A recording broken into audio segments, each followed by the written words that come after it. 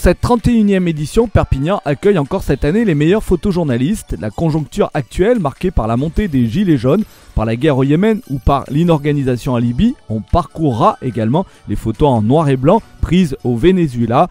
Ce reportage vous montre les clichés les plus représentatifs.